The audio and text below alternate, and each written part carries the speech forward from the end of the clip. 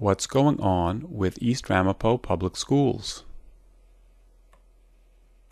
Why are these guys in charge of these kids' education? Are they doing a good job? Well, let's have a look at their report card. I see a lot of red X's. That can't be good. Maybe it's the budget. Well, in East Ramapo, public schools serve mostly people of color blacks, Latinos, Haitians, and Asians. Spending for those public school students is only about 62% of total expenses. The rest goes to the services for private religious schools, mainly yeshivas. New York State has cited East Ramapo for inappropriately spending public dollars on yeshiva tuition. The impact on public schools includes larger class sizes for elementary students and fewer options in middle and high school. We've lost all the art teachers for our elementary students, all the music teachers for our elementary students, and some high school students spend half their day in study hall or lunch because there just aren't enough teachers for all the classes. Private school services, including transportation, textbooks, software, library, special education, professional development, curriculum assistance, after school programs, and support services, have not been cut. There's been a shift in priorities.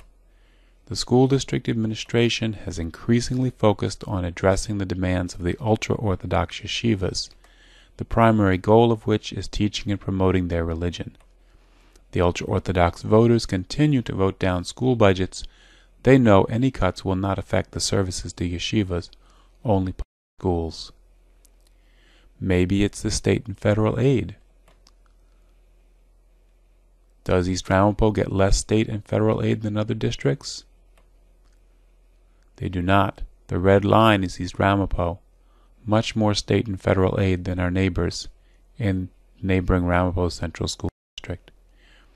Maybe the voters in East Ramapo simply don't come out to vote. No again. That large blue bar on the left hand side, those are the East Ramapo voters. At least double any other school district in Rockland County. Despite the large number of non citizens who cannot participate in school votes, East Ramapo still outvotes the rest of Rockland County. So, why haven't elections worked?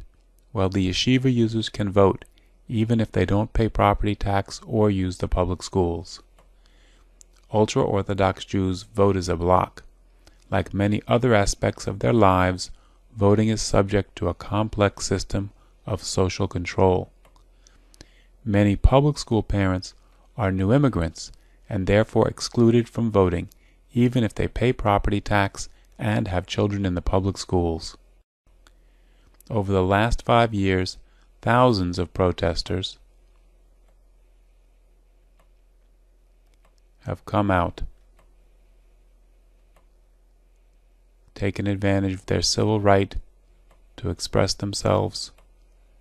Teachers, parents, students, activists coming out, but not heard. So what shall we do? Well, the school board members, they're being elected without the consultation of the parents who use the schools, and there's a conflict of interest which is inevitable when public funds are controlled by people elected by a block vote. The non-public community has nothing to lose by defeating school budgets, but public schools need resources to meet New York State learning standards. The current imbalance between public and non-public school students is a threat to public education. New York State must intervene to protect the civil rights of the children of East Ramapo. If not now, when?